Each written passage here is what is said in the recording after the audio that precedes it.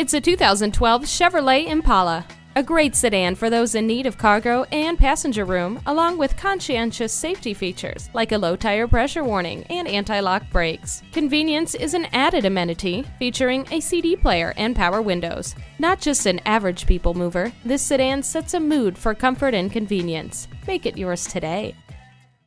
Due to our aggressive pricing here at Harold Zeigler Ford Lincoln, this vehicle will not last long. Conveniently located at 2525 Bypass Road in Elkhart, Indiana.